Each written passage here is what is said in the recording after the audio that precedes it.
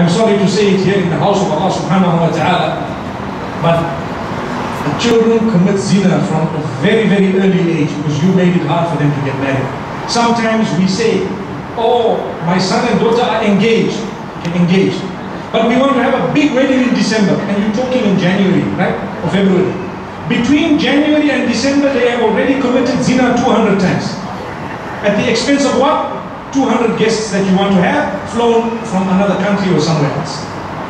So the best thing is have a simple nikah. The hadith says don't delay the nikah. The marriage, don't delay it. What you want such a big function for and, and, and waste time. Have a nice function, whatever it is, within the limits of, of what is right, and make sure that it is as soon as possible. Why do you want to delay? Sometimes I know of cases where parents disagree with a certain guy and the, they have made a promise to each other, we'll never marry anyone but you. It might be a mistake. Engage them in discussion. Talk to them. Convince them. If you are wrong, if they are wrong, they will listen to you. If you have good communication with them. If not, listen to what they have to say. Get them married. You know, in today's world, sometimes it is easier to allow people to make a mistake and come back from that mistake sane than to let them not go through the error and lose their minds and become people who are dependent on medication for the rest of their lives because you did not allow them to make their mistake. I've come across fathers whom I've convinced to let their daughters marry the wrong person. Some of those marriages have worked, and some of those marriages they've come back and they've hugged their dad. Dad, I made such a big mistake. I'm so happy that I'm back. And dad says, I always told you, but don't worry, I love you. Whereas there are other cases where they say, not over my dead body. So the girl loses her mind and she's on all these Benzhexol, haloperidol, and all these other medications. I don't even know what they're called. And everyone is on Prozac and Prozac and whatever else it is.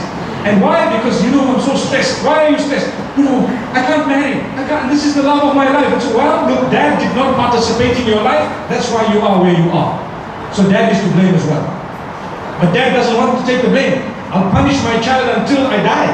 And even when you die, I'll make sure my brother, my sons keep on punishing her. If that's the case, what type of a Muslim are you? You did not participate in her life and you don't want her to get married.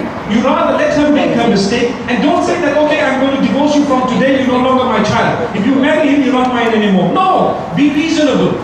You, okay, you married a person I might not really agree with, but okay, if that's what makes you happy, go ahead, you know, and make dua for them, pray for them. And they might be the happiest people ever. I know cases where the, the parents of the girl were not happy with the guy at all. And after they got married, the guy became the favorite son-in-law, or he became a person whom they really, really love and look up to. Because he proved himself. So you're not a God to know what the future holds. You're a person who has to live the life as it is.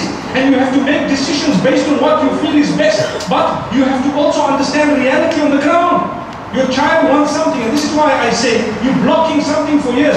Sometimes the children have already had abortions and you don't even know. And you're far away from it. They cannot communicate with you. And you're busy thinking, no, I'm going to block this. Yet you have promoted adultery, you have promoted zina, you have promoted the abortions. And don't ask me how, because if you don't know how, you're a fool. And we are passionate about it. This is the real life. We are in a hyper, hyper, hyper sexual society.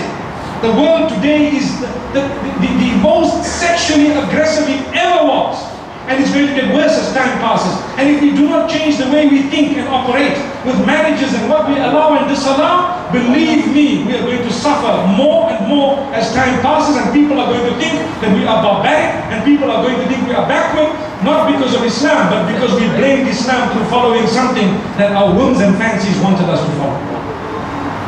That was my passionate call I hope it has made an effect.